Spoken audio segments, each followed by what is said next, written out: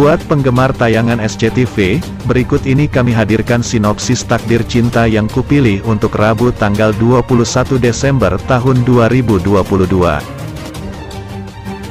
Tayangan ini lumayan disukai para penggemar sinetron tanah air. Permasalahan asmara yang dibenamkan dalam sinetron ini cukup menarik perhatian penggemar. Ya, Takdir Cinta yang kupilih yang disiarkan di stasiun televisi SCTV ini benar-benar menggoda untuk kita tonton apalagi ditayangkan di waktu santai. Nah, buat teman-teman yang kepo dengan alur cerita Takdir Cinta yang kupilih Rabu tanggal 21 Desember tahun 2022, berikut ini Flores terkini hadirkan untuk Anda. Di episode sebelumnya dikisahkan bahwa acara yang dibawakan Novia sukses besar. Rizka yang mengabarkan hal ini pada Novia. Mantan istri Hakim ini tidak menyangka bisa meraih sukses meski sebelumnya dirinya dihujat netizen. Tidak disangka-sangka, followers Novia di media sosial naik tajam. Dalam hatinya Novia merasa berhutang budi pada Jeffrey. Namun karena sesuatu dan lain hal, Novia yang ingin menelpon Jeffrey justru batal. Mungkin dia malu. Ketika dalam kegamangan, tiba-tiba saja ponselnya berdering dan di seberang sana terdengar suara yang tidak lagi asing baginya, Jeffrey. Lantas, seperti apa kisah Jeffrey dan Novia di episode Takdir Cinta yang kupilih selanjutnya? Berikut ulasannya. Pada episode kali ini, firasat Novia akan sosok Jeffrey yang sebenarnya mulai menguat.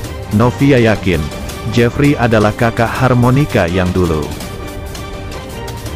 Sayangnya, meski terus mendesak agar Jeffrey mengakui dan membenarkan kecurigaannya, namun semuanya sia-sia. Meski tidak mendapatkan apa yang diharapkan, pada episode Rabu tanggal 21 Desember tahun 2022 Novia kembali mengulang pertanyaannya. Beruntung, kali ini Jeffrey tidak bisa lagi mengelak.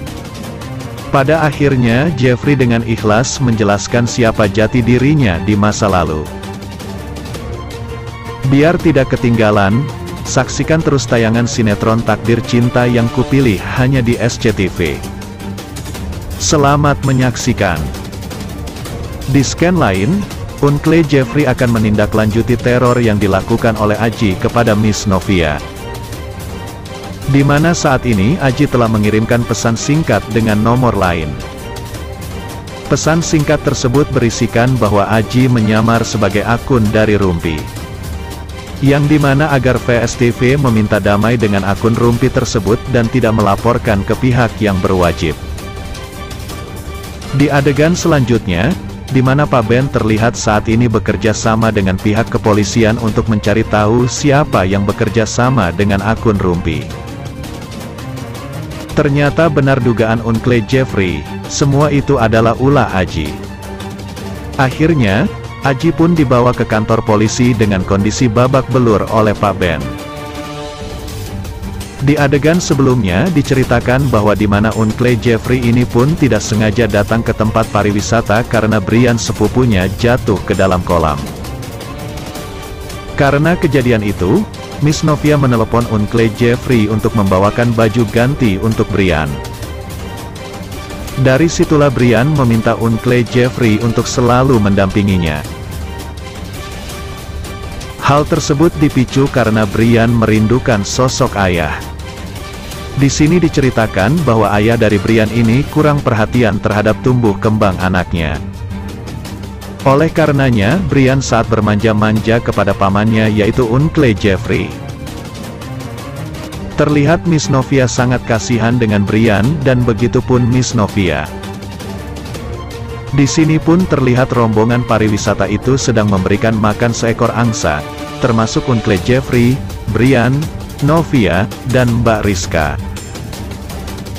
Dari situlah Miss Novia mendapatkan petunjuk jika Unkle Jeffrey adalah kakak harmonika yang selama ini ia cari. Pasalnya, mereka mempunyai kesamaan takut dengan angsa. Tak hanya itu, Uncle Jeffrey ternyata juga fobia ketinggian. Di adegan selanjutnya, terlihat di mana Miss Novia yang penasaran dengan Uncle Jeffrey apakah dirinya adalah kakak harmonika. Namun Miss Novia tidak mendapatkan petunjuk apa pun karena di sini Jeffrey belum mengakui siapa dirinya. Menurut Uncle Jeffrey, saat ini belum saatnya identitas siapa kakak harmonika terungkap. Lantas, kapan Uncle Jeffrey akan mengatakan hal yang sebenarnya kepada Miss Novia? Apakah setelah Brian meminta Ibu Astrid dan Pak Arjuna melamar Miss Novia untuk Uncle Jeffrey?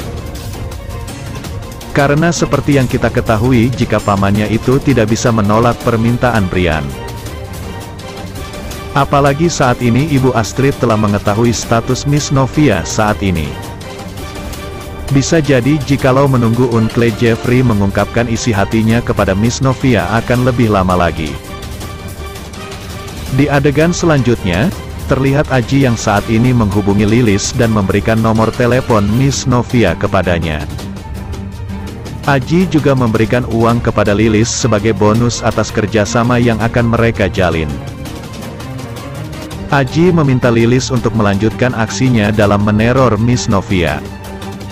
Tetapi untungnya saat Aji mengirimkan pesan kepada Miss Novia saat itu dirinya berada di samping Uncle Jeffrey.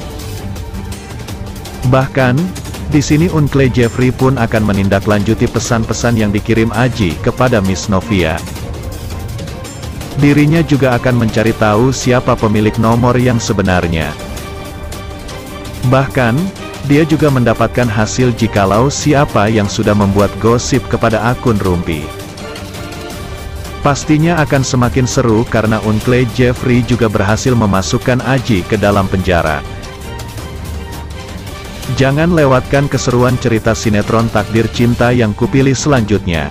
Rabu tanggal 21 Desember tahun 2022 hanya di SCTV malam ini pukul 21.30 waktu Indonesia Barat. Demikianlah ulasan hari ini yang dapat Bang Mimin sampaikan buat fan-fan penggemar setia dunia entertainment yang baik hati. Jangan sampai terlewatkan fans-fans semuanya. Mohon maaf atas segala kekurangan. Dan terima kasih atas segala perhatiannya. Sampai jumpa di segmen berikutnya. Yuk, bye-bye.